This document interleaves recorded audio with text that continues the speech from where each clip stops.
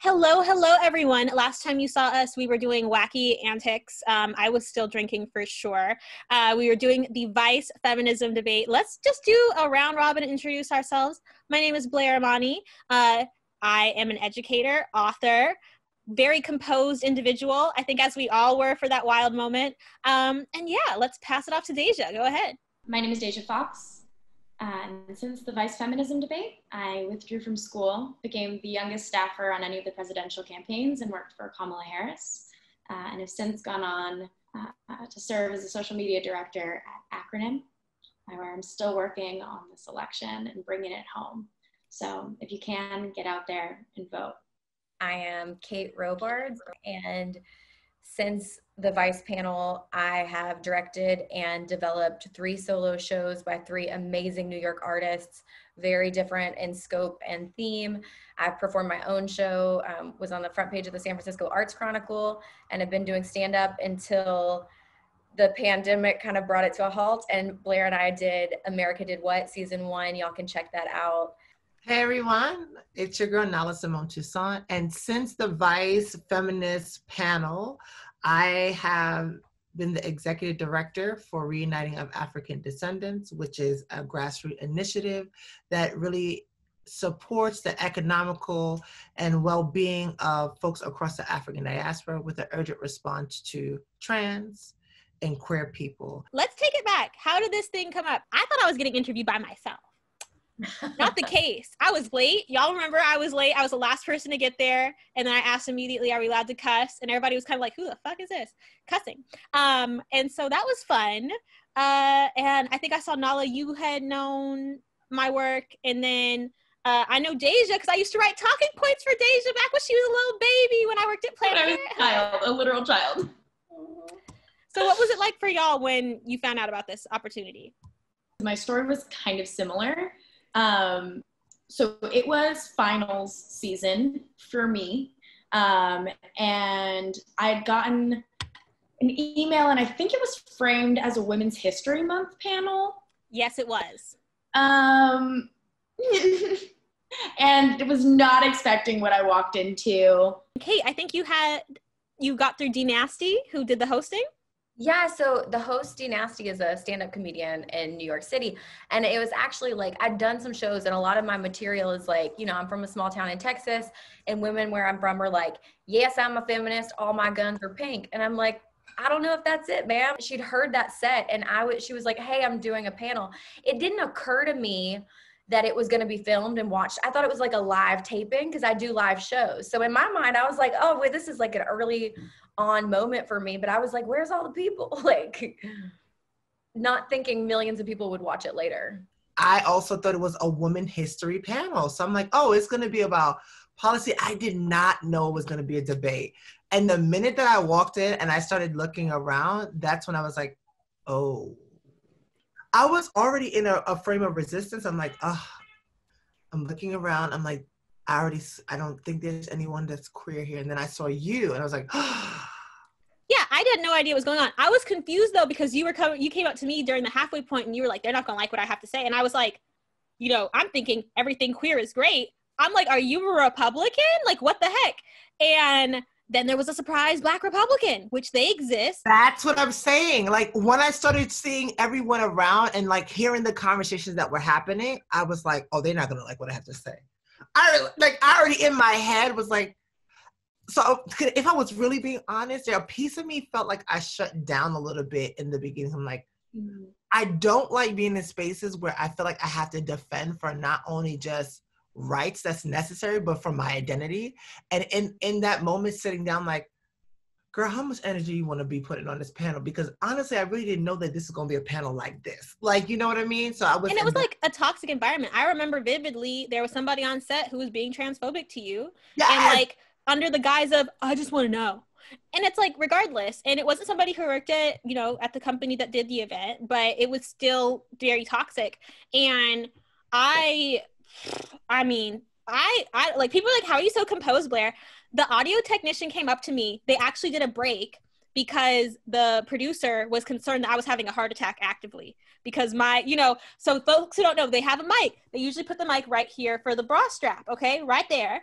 And so I'm talking and it's just like I'm listening to this person. It was a joke for me and just boom boom boom boom boom boom boom boom boom. And so they like cut after that and they were like, "Do you need water? Are you okay?" And back then, my alcoholic self I needed a drink, which is what I said right at the end of it. But they yes, were concerned. And I remember now that makes sense why they cut in the beginning and, and we all separated and we came back. Totally makes sense now. Yeah, because they thought I was dying. When I saw Kate, I was like, but she can dress though. She's put together. She has a southern accent, which threw me off. She's white, that threw me off. But I know the liberal South exists. You literally was the plot twist. Literally a plot twist. It was a plot switch. Not everyone was easy to, to pick out in the beginning. I was like, she's a Republican. See, I said, literally, when I walked in, and it was because of Kate, where I was like, Derek, not gonna like what I have to say and I gagged. I completely gagged. You were totally a plot twist. I feel like they separated all the BIPOC in different areas. Yes. It was wild. And like, I think the other thing that was really bonkers, I felt like, and I haven't said this publicly, I felt like there was a certain person where every time I brought up a point, that person rephrased my motherfucking point, and then their point got put on the clip. And I was like, okay. There were some folks like I had never thought of like a pro life feminist existing and Destiny, who was there, who was part of New Wave Feminists, I started talking to her afterward, and she paid for everybody's drinks, if you remember. Like, she was talking about how, like, no, you can be against these things, but it has to be within context. It's not about cutting off abortion rights if you're not funding contraception, if you're also funding the death penalty, if you're putting people in cages, if you're, you know, displacing folks. And I thought that was such a comprehensive, holistic view. I didn't even think that was in the rebel possibility. So I learned a lot of stuff. Uh, also learned uh, that you know black republicans exist it's not something you learn it's something you know by a show of hands who here voted for trump I don't publicize my votes, actually. I support Trump simply because he a businessman, and I come from a business family. I was raised, my dad was a single dad. He owned his own business. So, you know, who, who wouldn't want to vote for Trump? And so many folks were like, how could she do that? And like, the way I am, I'm not going to sit on TV in a film setting and go after one of my own sisters, you know? What I tell you, I was sitting down and I felt like there was a level of comfort because I was sitting no! So, so a little bit about why my facial reactions were the way they were, because I'm like, I literally was gagging the whole time. I, I was gagging to, to the point that I could not even think of what to say. We will get back to that comment that you know who made, but when she said who voted for Trump, and I and I'm looking like, I know she my favorite. the chick in the purple in front of me who was like, actually, I don't publicize my votes. And it's like, okay, cool. It's did. like, okay, let's move into questions. I'm so glad that you're sharing more because that was the biggest thing. Folks were like, Nala has to speak more. We have to hear from her. I don't care who you do a remix with, a reunion with. We have to have Nala. So let's talk questions. Okay. Ooh, maybe for Kate somebody clocked you, Kate. How do you deal, how do you talk to a family that deeply disagree with you, but do it in a productive way? I mean, that's a really hard one because as I'll use an example. So my brother is um, he's struggled with addiction like many people. He's been in and out of rehab, including state rehab, which is run by the privatized jail system. And he's a felon. And um, we had, were talking about felon rights and he was talking about you know that felons should have the right to vote which in texas they now do and in many states it is a hot button issue. He was like if i if if i would vote for trump. And at the time last election he could not. Now they've changed the laws but i was like you can't even vote. You're a felon. And he was like yeah that's wrong. And i'm like so you do care about like prison rights. Like that is actually a very liberal mindset. So i try to get where i can at the issues by finding ways that they appeal like that they personally appeal to people you know? And that's like that's my biggest in and it changes person by person but it really is a, you know my christian upbringing it's like you there's one sheep gone and you you can keep the flock by itself but go get that one sheep it's like one person will make a difference you know and blair i thought your example earlier of what you can learn something because it's like I can also learn something too. And when we're just mad and think that we're so other, we can't actually compromise and hear each other out. So that's what I try to do. Deja, here's a great question. Um, when you started campaigning for Kamala Harris, a lot of folks had issues with it. you recall. How do you feel now that you've been hailed as the youngest person to work on a presidential campaign? Well, I mean, that was true then and it's true now. Regardless of who I was working for, I was making strides for young people, right? I was taking up space and asserting that without a college degree and because of my perspective and my experiences, um, I was prepared to do that job and to do it well. Um, and by taking up space as a young person, by being a person of color, a woman of color, um, at such a high level of leadership, um, I think that that's a win. And that was true when I started, and it was true when I finished, whether people wanted to write headlines about it then or later. I knew Kamala Harris was my candidate from the get go, and I didn't need other people to know it, right? She was raised by a single mom like me. She's a first generation American like me. She's a woman of color. She's been a first in so many rights. And like, that's me. I see myself in her, and I was going to fight hard for her, regardless of if people liked it or not. When you make a decision and you do it wholeheartedly and you stick to your values, uh, and you know that you're making the best decision for you and your life, it doesn't really matter what other people. Period. Speaking to what Nala was saying earlier about feeling like, am I the only queer person here? Like, what is up? There were folks who they were asked a question about trans women, and then there were folks who decided to be transphobic in public and then be quiet about it afterwards. And I love how you did your little voice. You were like, somebody want to be bold, but they don't want to do it when they get caught out. You know, I can't remember what you said, but I was just like, go off. Um, by a show of hands, are trans women helping push forward uh, women's movement and gender equality? Oh, I want to hear Yes. this. Wait, what? Okay. For the people that disagreed, would you like to make a I sort of disagree. I saw people didn't raise their hand. But what was it like for you in that shift? Did, were you already kind of walking into that space knowing what it was like for folks to just disagree with your existence? I mean, on a, I'm gonna just keep it real. On a day to day, I'm always, I know someone's always gonna disagree. Period. Like, and the thing about how I show up in spaces, whether passable or not, whatever that may look like, there are people who will literally make transphobic comments in front of me, not recognizing that I'm trans. So I've literally have heard the uh, plethora of disgusting trash bag kind of comments you can he- hear. And so in my mind, I literally have to breathe through every moment when I'm on a paddle. I don't need, I don't like, if, if folks watch, I'm literally having my hand on my knee, on my legs, like, but gripping. I, was doing the same thing. I was like, I'm gripping because I'm like, if I, I need to feel like I'm grounded into something as I'm breathing, because I don't want to show people what they think of my community. mm, that's a tough one. You know, like it, it's the thing where I'm allowed to feel my feelings, Right. but abs- also I have to be, or I, I feel like, and it's a personal decision you have to make, right? Like, do I lean into wanting to disrupt their notions Right. or do I feel my feelings? And I think that you did both at, you know, kind of simultaneously throughout the panel. Like, there were p- points where you were like, y'all better speak up, you know, and there are other points where you're just like, I'm gonna sit this one out. And I think that's really, it's really interesting. And it's also, you know, I think it's worth mentioning. We spoke about how not everybody really knew what was up. And I think that there's such a push to create organic moments like this. And it's, it's harmful because like you're not giving people the mental preparedness. Like had I known we were going to be on that type of panel, I would have taken additional anxiety medication. But I thought we were going into a one-on-one interview, and so I think that uh, it would behoove journalists, producers, etc., to really be intentional about how they're reaching out to talent and understanding two things. One, how it's going to affect the talent in the moment, but also how the visibility is going to take place. Because I think Deja and I, we both had viral moments before, so we were a little bit, you know, batten down the hatches, close your DMs. You know, poor Kate was like, "I'm a meme. What is this?" like for me, yeah, that that for me that I was not prepared, and I, and I, I want to echo something you said. Like, if had I had known, I would have prepared to like, because think about it, it's almost like being the only black person in this space. Literally, was the only trans person in the space. Yeah, trans queer, but how do you then sit in a space and feel like the weight of a community where like topics where y'all were talking about reproductive health, like I sat back because I was like, mm, that's not my my experience might be different.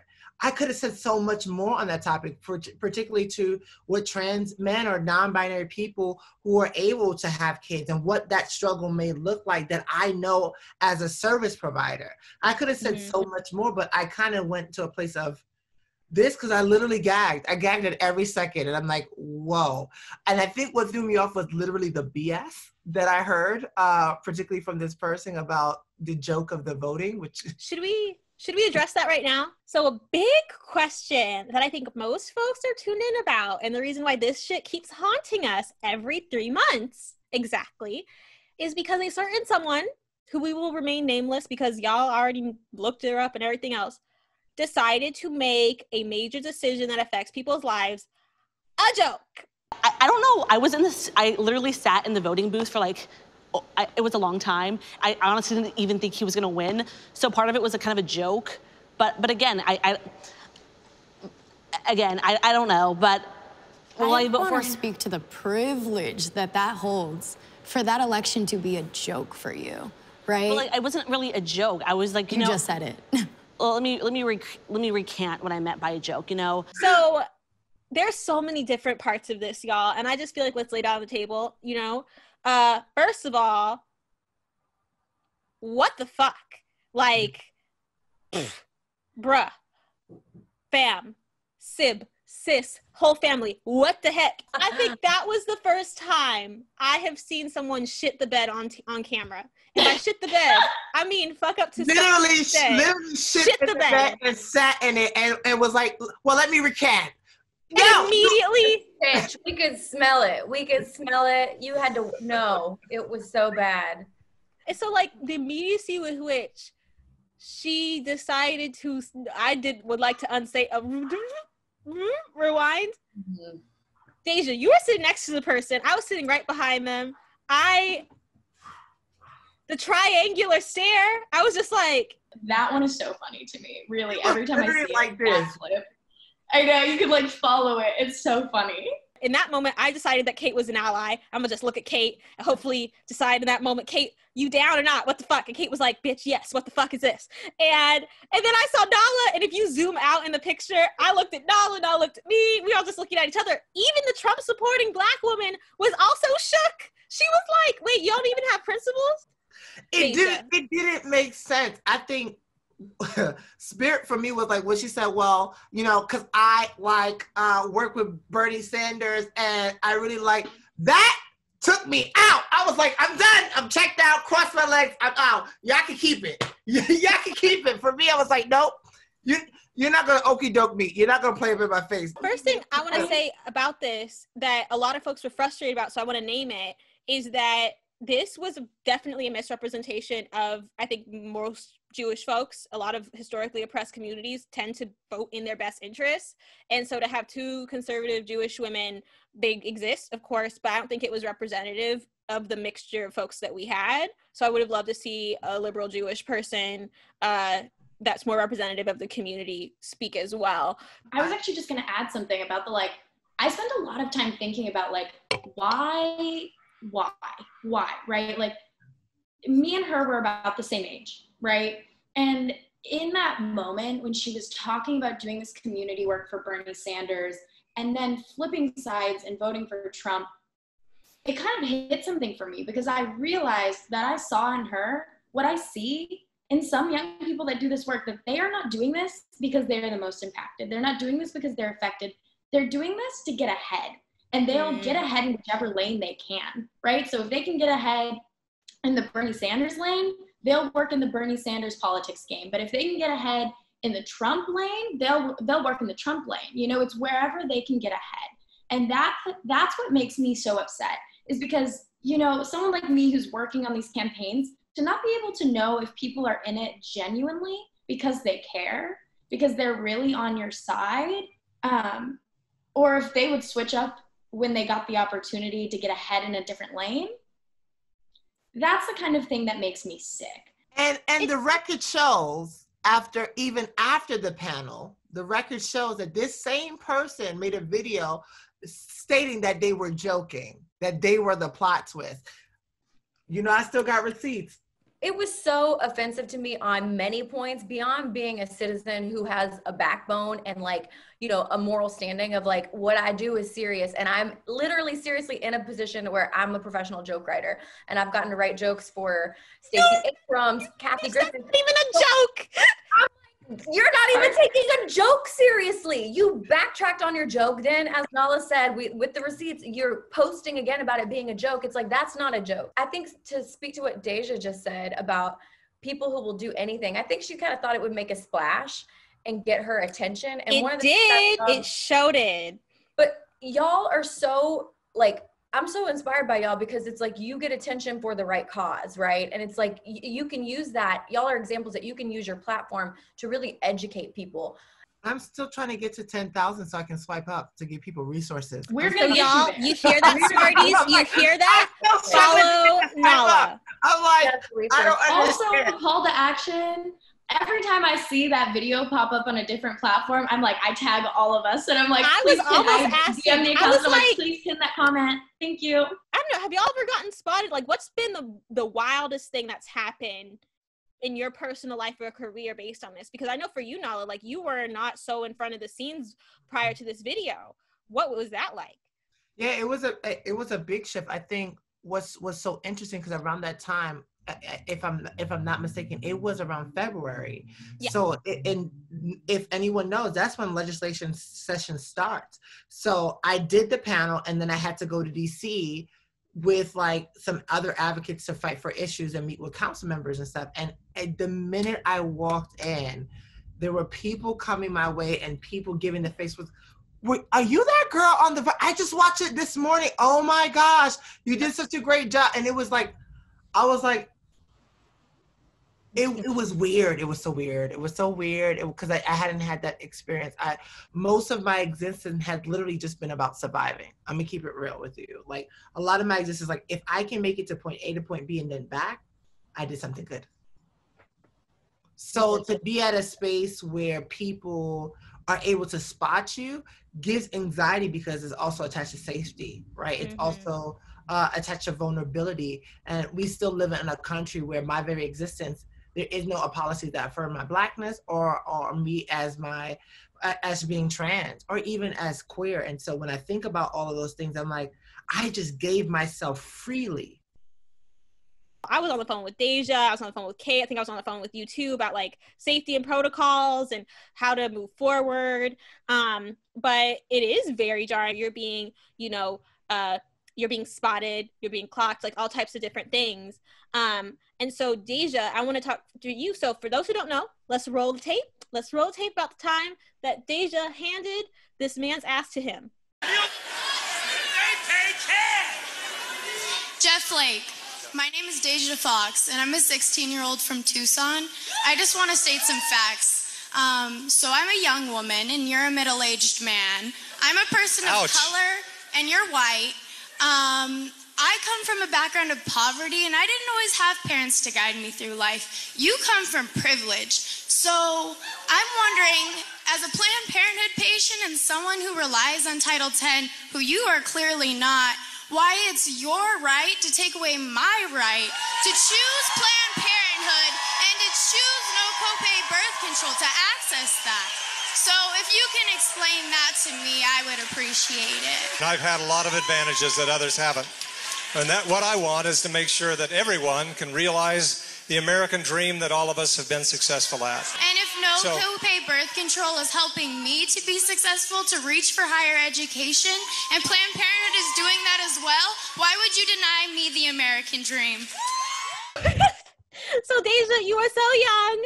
You, uh, Planned Parenthood advocate, spoke truth to power uh, very publicly. I worked at Planned Parenthood at the time, y'all. It was great. Planned Parenthood Federation of America. This tape came in from us from our Arizona folks, and immediately they were like, "We need to media train her. We need to prep her, not because we need to control what she has to say, but let's prepare her accordingly." How did that differ from this time, this this round of virality? We also have to remember that 2016, 2017, when that went viral, the internet looked very different. Even Also, how old were you when that happened? Of, I was 16 when that happened. Um, I was a baby. And like I was still working at the gas station. I was in high school, right? Like I was dealing with some real ass shit, like living with my boyfriend. Things were hard. And to throw being viral, having 18 million eyes on me and ears on a story that is deeply personal was hard. But I had someone in my corner, right? Like I had the Planned Parenthood team to have my back. They made sure, you know, I had already gotten trainings on media triangles and power mapping and the story of self. Like I'm really throwing them out there because they mattered. They made the difference in how I was able to create a moment, to frame my narrative to fit, right? To like both be authentic to me and to meet the moment and to meet the media cycle, right? And to create the kind of buzz that then gets traction to change policy and move policymakers. Um, and so I already, I had this like really vast understanding of things that they do not teach you in school. I had all these trainings, I had a team behind me to help me and support me. Um, but going viral that first time, it didn't prepare me to go viral the second time it actually just when I went viral the second time with you all, it was like a trauma response of having mm. so many eyes on me. And I couldn't go to class. I didn't eat. I couldn't go to the dining halls because I felt like everyone was staring at me. Like I was crying in my room for days. And in some ways, I remember my counselor or my uh, my advisor at school saying, "But isn't this what you want? Why don't you just delete Twitter?" And I was like, "It's not that simple." Okay, let's demystify that for folks right now why don't you just to get off social media? Why don't you just do this? Like whatever. When you are viewed in a certain way, the human psyche, we are not equipped to deal with people saying all types of incorrect things about us and for us to have to be fine with that and then turn it off because those opinions in the ether still exist and it's very detrimental to the mental health. I had a mental breakdown around twitter you know like it was very problematic. It completely changes your whole your whole view of your own self-worth. So we have to have really necessary and honest conversations about what it does to people and not be flippant and gaslighting by saying just get rid of it. Um, that said with people thinking that you're one thing and you're actually another i'm gonna take it to kate kate what was it like for you for people to like for like you know we just talked right here. We were like she's a republican. And for folks to see it was it affirming? Were you frustrated that folks were like kind of erasing this idea of a progressive south? What what was going through your mind? Talk about what it was like in kate land. I like to think of myself as a marginally employed, you know, artist who I incorporate, you know, growing up on the poverty line with a single mom and addiction, like in all of these themes and uh, hating people and learn like learning to love people. I incorporate that into my daily life and into my work as a comedian, into my work as a playwright but I never expect it to reach an audience because of the way I look. I've had people, you know, think that I was the one who went to Columbia, Deja. Like I went to a community college in Orange, Texas, and I waited tables and I, you know, had a hardship license when I was in high school. So it's the opposite where it's like people immediately feel safe around me. But mm-hmm. I, you know, and, and in my training and Blair, you know that I've been an active member of um, Middle Collegiate Church and I've done anti-racism training. Let me say y'all, when Kate, I was on the fence. I was like, okay, she's not a violent white person. We love it. Okay, cool. She's fashionable. Also love that. We could go shopping together. Uh, and then when I was like, you know, she was talking about being a woman face. She's like, I go to middle collegiate with Jacqui Lewis. I was like, Reverend Jacqui Lewis, Dr. Reverend Jacqui Lewis. Yes. You're good. You're good in my book because I know that you have done the work. And that's why I was so happy to work with you on the anti racism education with America Did What. But for me, I was just excited to find a platform that's not a room of people. And it's it's fun for me to engage. And I do respond to DMs. And I love to listen and I love, you know, I wouldn't have known about Nala. So it's it's I personally like I like to have these conversations and I'm not afraid of what I believe in. I stand for them. Having that opportunity to engage with an audience is amazing for me. Beautiful. So, a big question that we've gotten is a very serious one about Amy Con- Coney Barrett. Coney, you got it. It's Amy Coney yeah. Barrett, yeah. Yes. So, um, she is grossly underqualified and biased, and uh, period. So, reproductive health is on the line. The thing that's been frustrating for me, you know, when I worked at Planned Parenthood, I was working in the southern states. I was working with folks who were already living in a pre Roe existence. That means that Roe versus Wade never really meant anything for them because it was never enacted in an equitable manner. Not even to consider folks who are erased because of the gender binary, who also deserve access to reproductive health. Uh, not to even in talking about folks who've been erased because of the sex binary, who are intersex, who have you know various different chromosomal variations, who aren't even discussed. So there's been a lot of folks who are already in peril as it relates to reproductive health. And i think that was one thing that united us is uh like you know when we talk about things like abortion it's not taboo. It's not like oh my goodness it's like no let's talk about it but let's talk about it comprehensively. Let's not talk about it in a cis sexist way. Let's not talk about it in this like linear way. And a lot of folks are freaking out justifiably because we have a conservative leaning court but then you also have folks who are like, you know, in my community, especially historians who are kind of like, this court never really cared about us. And the only times it has cared about us is when there's been immense social pressure for them to care about us. So, what do we say to these folks? Yeah, and uh, uh you know, I'm gonna. I feel like I'm gonna speak from the heart. I think the lack. Well, you can't really expect anything from our current uh, administration, right? The fact that RBG died during a pandemic, and the very quick response that we have is to replace that position without empathy, without thought, without a rest in peace, without actually thinking about the integrity of who she was, who was once in that seat, right? There was no thought into that. The only thought was that we need to replace this and we have to make sure that it is, in case we lose our seat, in case we lose this presidential, we have someone who is there for us. Yeah, I just think, uh, again, I think just trying to put someone in office after RBG died during a pandemic, I think as administration, the focus should have been on how are we're keeping people safe, right? I think we have yet to address the homeless population that on the street, right? I think when we think about a pandemic in itself, I, you know, I live in Jersey, but I also travel back to New York. I have yet seen any infrastructures that actually create something that keeps people are experiencing homelessness safe. So to here we are to put Amy in office, right?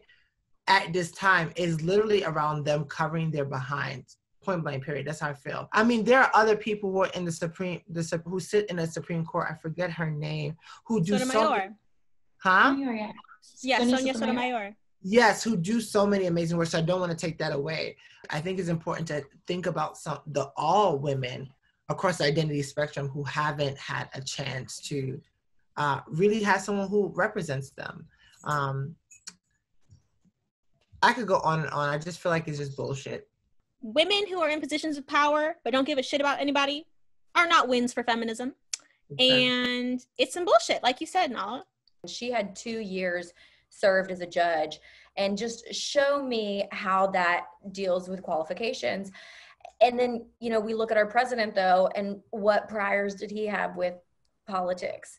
So i'm not shocked but it is a dire situation for healthcare. You know i want to uplift something blair said about the fact that there are folks in this country who are already uh, who have already been denied their right to choice their right to abortion right and in some ways, I keep hearing people say, like, we need a judge who's going to look out for women's rights, women's issues, right? Who are going to stand up for women, who are going to act in the best interest of women. In some ways, like, I kind of look at it and I think Amy Coney Barrett is, in a lot of ways, acting in the best interest of other rich white women. She is. She she is going to create a world in which they can continue to be successful when the rest of us are here struggling to get ahead. Uh, I'm 20 years old, right? I didn't get to vote in the 2016 election, uh, so I had no say in this president. This president did not win the popular vote anyway, and then he's appointed this justice who is going to sit on that court likely until I can run for president and even longer, right? When I step up to run in 2036, when I step into the Oval Office, she's still going to be holding her seat on the court. And that that is a really interesting perspective for me to think about because it just shows how if someone could vote as a joke for that president, the long lasting implications of that, the lifetime implications, right? The implications that will have on my children, whose lives will still be affected by the decisions that that woman is making. There's something inherently wrong about that. We have seen our democracy be challenged and degraded time and time again, and are standing here questioning, like, how is this happening? Is this right? Is this even, are we even on the right path? Is there saving this? Like, what do we do? How do we move forward? Um, and the thing that I have to, you know, kind of leave with is this election, getting out the vote is just step one. We need to get Trump out of office. That's the first step. But I need people to know that this doesn't end on November 3rd, right? Like we need to keep renewing our commitment to this work because Amy Coney Barrett is going to be there for a lifetime. And we're going to have to keep fighting. That's just it. You know, I'm going to have to keep fighting. You're going to have to keep fighting. And there's no getting around it because people voted like it was a joke four years ago. And now we have a lifetime of work ahead of us whether you so, vote or not, you're going to be impacted. So I just think about people who have the, and this is just really a heart to heart, if you have the ability to vote, if you have the ability to step in for a vote for someone who does not have the privilege to vote, if you have the ability to do something for someone else, why not do it? Yeah. So y'all know we weren't actors, we are real people. Um, historians, yeah. activists, communications professionals, comedians, writers, uh, folks who have authentic things to say. And it's just been great to continually have y'all in my life. Um, you never know what's going to happen when you go to these types of things, especially when you don't know what you're going into. But yeah. if there's one thing we can all learn, it's not to treat voting like a joke. Vote for mm-hmm. justice, vote for righteousness, um, and let's continue to build a better world.